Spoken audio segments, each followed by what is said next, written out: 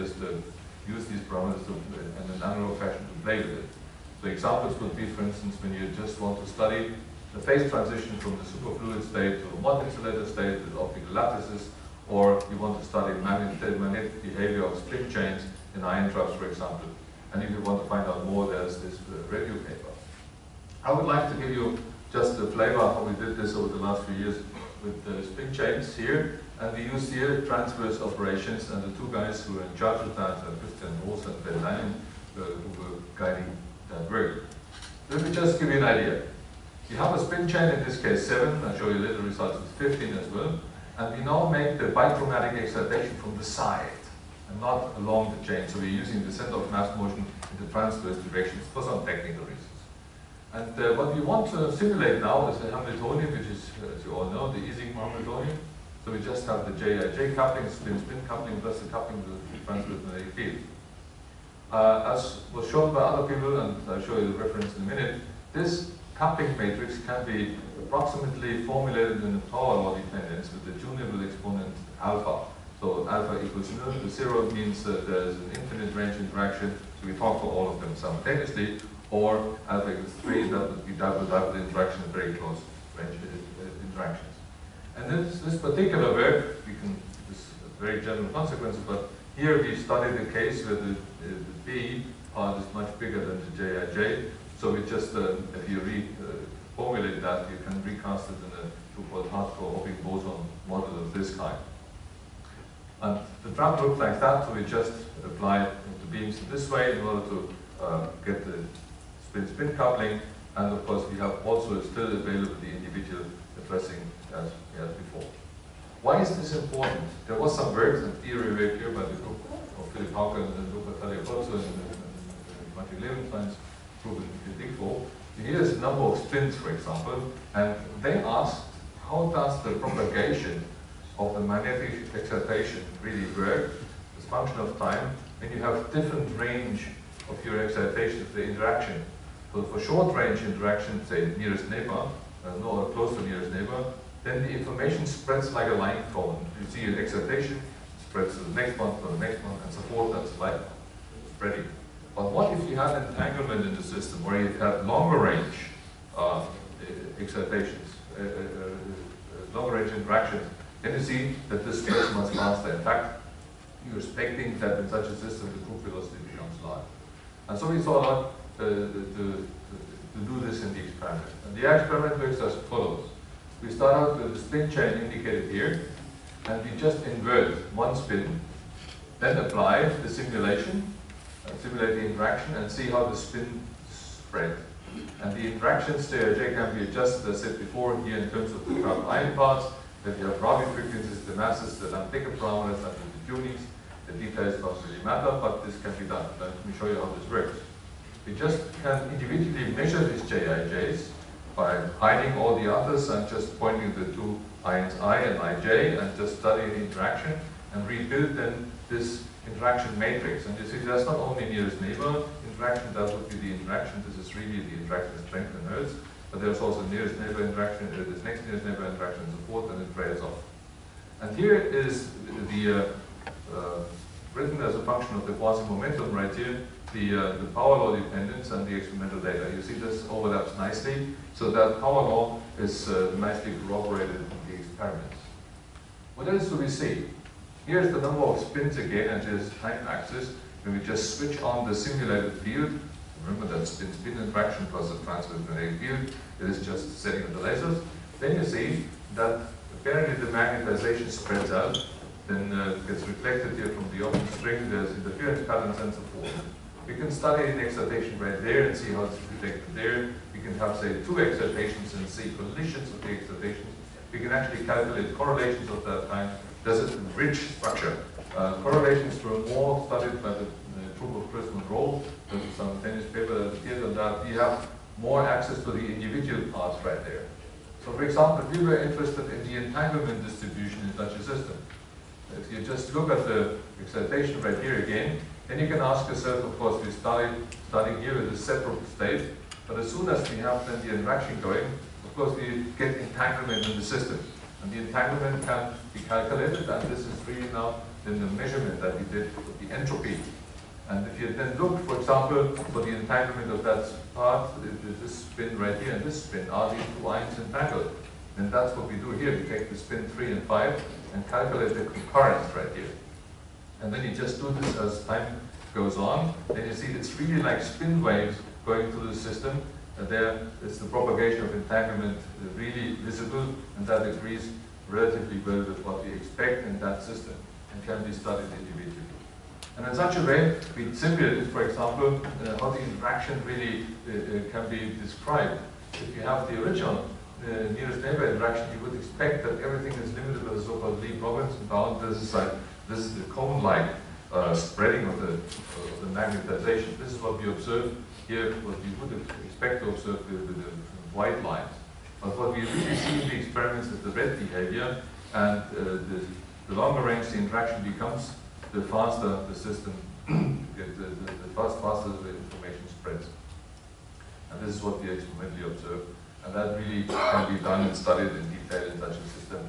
And I could go on and maybe uh, if there's time on Wednesday, I will talk more about spectroscopic ways to, to see these things. But let me rather change gears for the last few minutes and show you how to make digital simulations. A digital simulation is different from an analog simulation in that you now make use of a full-blown quantum computer. In an analog simulation, remember, you emulate the system by using the parameters of the available system Hamiltonian. But in a digital simulation, we just make use of the unitaries that we have. So we just use our unitaries that we derive from the system, the systems that Hamiltonian that we want to simulate, and we could immediately write down that unitary and implement it.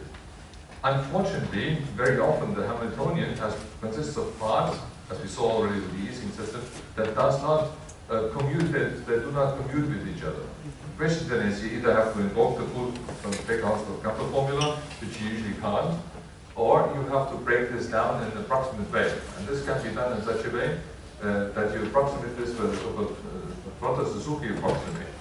So you slice these Hamiltonians in parts, apply it only for a certain amount of time, and apply it n times. Details you find here. Let me just show you how this works as an example. you start out with the Hamiltonian parts, of course, we encode this in our degrees of freedom, and then we form from each Hamiltonian part our unitaries. As you've seen before, we just write down this in terms of our toolbox operations.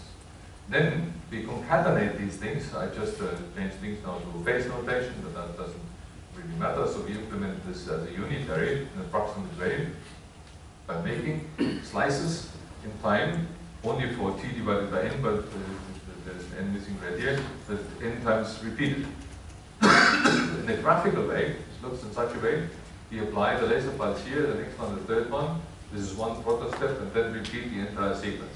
That approximates the dynamical behavior of the system uh, without using the commutation uh, relations. And that this is efficient for local quantum systems was figured out by Seth Lloyd in the seminal paper in the mid-90s. Let's see an example. If you take our two-spin Ising system, you immediately realize this can be cast in the form that you spin-spin interaction and the interaction in the transverse field. So let's see. This immediately translates itself into a Mølmer-Sørensen gate operation. I've shown you that. This translates itself to a gate operation that can be done in an addressed way, say start gate. And the system that we want to simulate, for example, would be, state two, how often do two spins point up or two spins point down? If you do that and just uh, cut the two, the two pulses, then you see the agreement is lousy. It's about 70% fidelity. If you cut it further, then it's already 85%, further 91%. And then, even if we cut it further, the fidelity doesn't get any better. What's the reason for that? The reason for that is simply that at that time, we already have so many pulses involved that the fidelity of the individual pulses is not sufficient to guarantee that the system really evolves according to the dynamic evolution. So we are limited here by the fidelity of the individual pulses. This is what we have done so far. I don't want to bore you with all these systems. And I just want to point out that this can be done in such a sandwich fashion to really implement also many-body interactions. And that is very important because now you, by just translating these things into to more particles, the Mølmer-Sørensen operation can be employed to get many body interactions, and you see here the coherent interaction for the GHZ states, for example. And this uh, these things.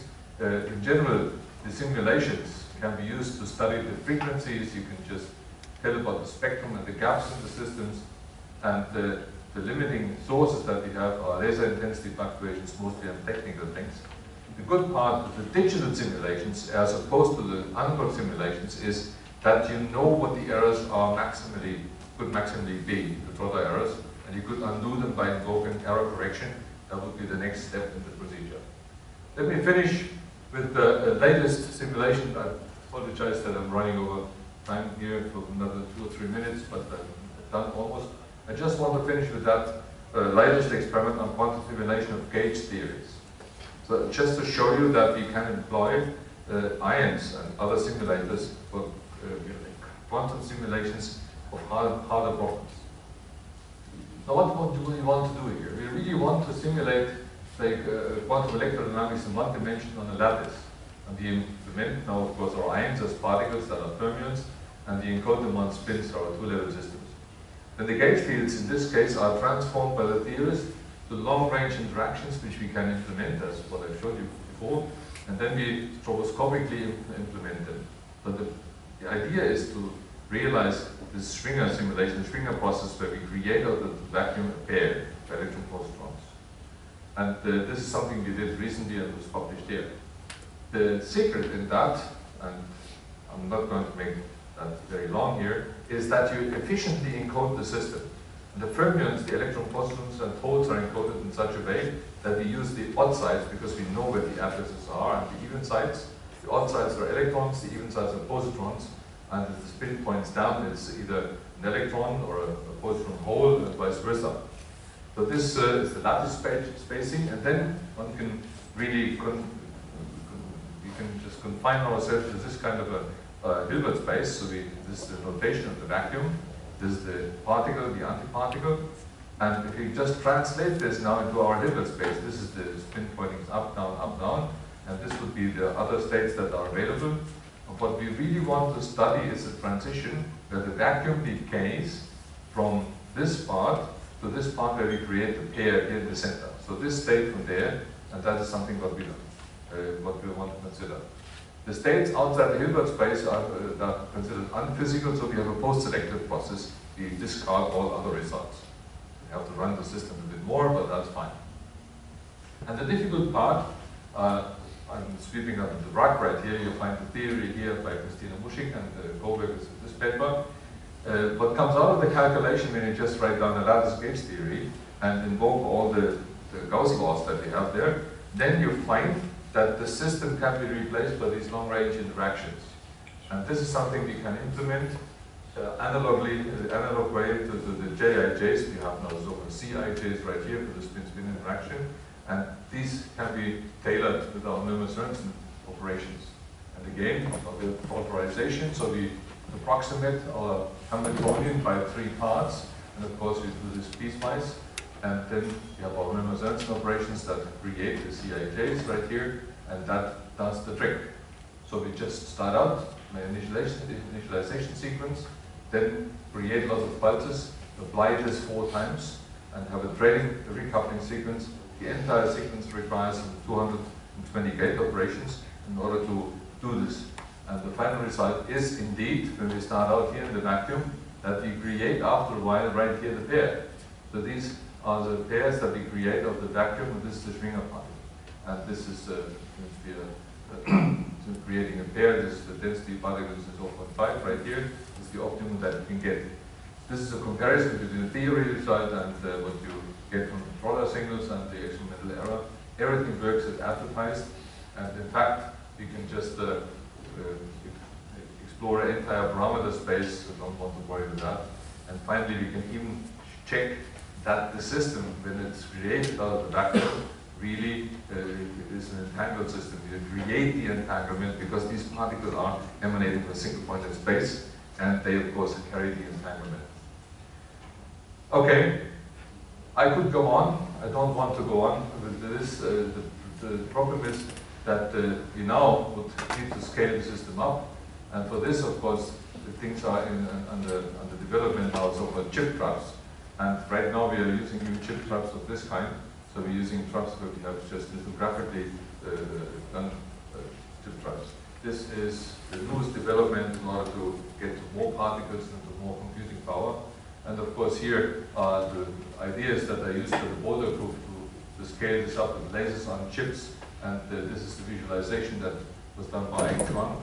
It sees the ions are moving back and forth and there are laser beams going, uh, addressing these ions. This can be parallelized. This is going on in the labs right now. It's not a vision anymore. Every trap lab develops these chip traps. And you see here, even the most advanced traps of Boulder, you see racetrack traps, which has a flag right here, in the should end. And I'm about to end now too, just to show you, this is the uh, trap that we had in the early 2000s. We developed these chip traps in the meantime, and they are being deployed right now. And now we have these so-called surface traps. And right now, the most modern parts are traps where we have, say, 4 by 4 traps that deals with 2D arrays that we are already doing. The entire chip is less than a millimeter wide. This is only 400 microns, 300 microns across. And this is uh, the most advanced trap that we have so far in the lab, and this is going on right now. With this, I'm at the end. There are, I showed you briefly why and how, what we do with it. Of course, we want to further optimize things. And the dream that I have is, of course, such a board or a chip, whatever, that carries local logical qubits which are protected by error correction and interconnected, say, by various interactions, either dipole-dipole interactions or by photons. And what we really need, this is just to show you uh, the teaser that we have already more ions. We need more ions, better fidelities, better gate operations, and faster detection. But what we really need, and this is the most important part ongoing in the lab right now, it's my dream. I want to have a qubit alive, at least for the entire duration of the calculation. Once we can keep the coherence going and do error correction, implement that. The rest of that is all doable without too many difficulties. And this is, of course, now the team that actually does it is a large team with many seniors. Here the numbers. But actually, these are the theory partners that we have, Peter Zoller, Miguel Delgado, Markus Müller, and Philip Hauke, uh, Heyl, Christina Muschik, and Angelo Dalmonte. The theory collaborations, of course, there's a number of sponsors that we have. And here are the names if anybody really wants to participate with. Thank you very much for you,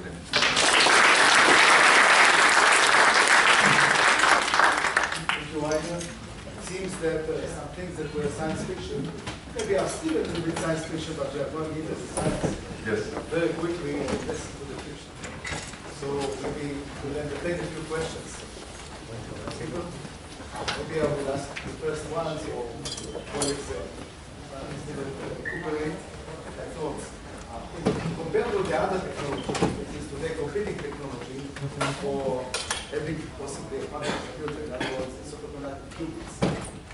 When you think about the long run, what's scalable? I mean, how can you compete with them in terms of scalability? I'm not talking about I would rather say, how can they compete with us? Okay, The point is the following. I think this is a, scalability is an issue for all of us. And uh, they have the advantage, as most people who think like you from the semiconductor industry and and. But listen, and you know, so let's people, they all think, hey, oh, this never works with lasers. Come on, this is just material. It will never ever work. Does work. I can show you. I can miniaturize these things very easily. No, but these people just uh, think of very bulky materials, big laser tables and things like that. To say, to tell you the truth, we have all the same difficulties. They have the difficulties because they really want to have to make artificial atoms, artificial two-level systems. But in making artificial two-level systems, in quantum systems, you need to have identical systems. They have an exponential problem in making them identical or calibrating things. Whereas we have identical systems, we have the problem of isolating the, the things so properly that we can just do the things. So I think there's difficulties everywhere. Of course, in the end, when you uh, say 50 years from now, are we going to have an AMO computer? Are we going to have a semiconductor computer? Or say Josephson uh, computer? I don't know. Personally, I still think in either technology, we are at the age of the tube computer in the 40s, maybe, not more. We need to still find the transistor technology and maybe then the integrated circuit technology in order to, to, to speak the same language as the classical computer technology. It could very well be that tomorrow somebody, bright guys here, anywhere, comes up and says, no, no, this is the technology, this makes it much easier. I want to have my plastic transistor right here and this, and this is perfectly protected. Somebody comes up with a topological insulator that does it right tomorrow, perfectly fine. But Leo Kouwenhoven predicts this, but he doesn't have a qubit yet. Whereas we have many qubits. So it's a playground. Uh, I, it's hard to predict what's happening in, say, 10, 10 years, and much harder to predict what's going to be in 50 years. But I'm convinced, what matter, no matter what technology we're going to have, in 50 years we'll have quantum computers. You shouldn't predict, make prediction easy. No, I don't make predictions about the future. No, no, the reason that he said that is that, that there is an old Jewish saying from the Bible that after the second temple was destroyed, Oh, I see. the prophecy is given only to the fools. That's why he said this. Okay. But That's, that's But I'm with you anyway. Haifa you can make the prediction, only in Jerusalem. How long can you keep these uh, Schrödinger cat states? uh, cheap, uh, The GHZ states, that depends on the number. They decay, the more you have, the faster they decay. Uh, we typically can keep them at this time uh, in the order of, um, I would say, milliseconds. Uh, pretty long, but that is for the size. We have another paper where we investigated the, the, these cat states because we really deliberately wanted them. They are, of course, most sensitive to noise. When you want to build up your system, you want to have a noise model, you want to have an error model, and uh, how, how better than to use the quantum state to measure your noise. And there we saw that they decay uh, as a function of this, the number of qubits squared, which of course, when you have a large number, they decay very fast. But the, the 14, they certainly live up to a millisecond. And the gate time? The gate times, the, the, the, this, the original gate times were very slow. Right now, we have improved systems. The individual gates, the single ion gates are a few microseconds, and the two ion gates, the Mølmer-Sørensen gates, no matter whether they are between two or say 10, uh, they are on the order of about 14 and 40 microseconds. So we can, we can do that, and uh, if it really comes only to coherence time, we are talking now about this real set, this optically excited uh, GHZ states. If I create the GHZ states in a so-called decoherence with subspace, for example, with spectromagnetic fields or in, in the ground state, they live as long as the state is. So we have created GHZ states of eight ions that live uh, 300 milliseconds. That's, that depends on how you you go. Yeah.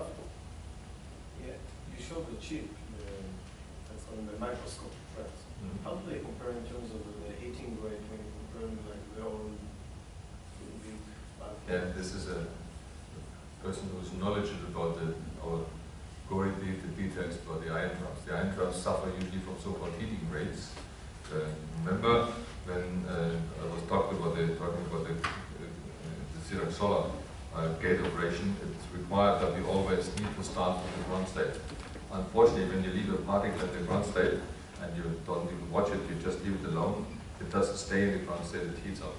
So you end up in a heated state, and this is what you're referring to, the so-called heating rate.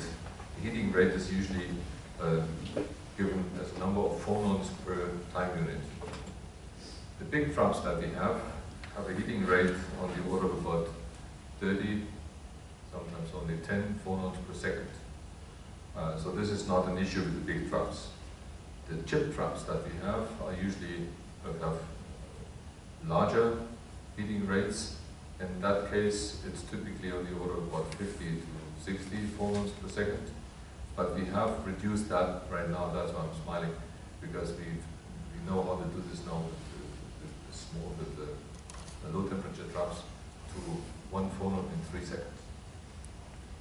Which is, for all practical purposes, what we need at this time.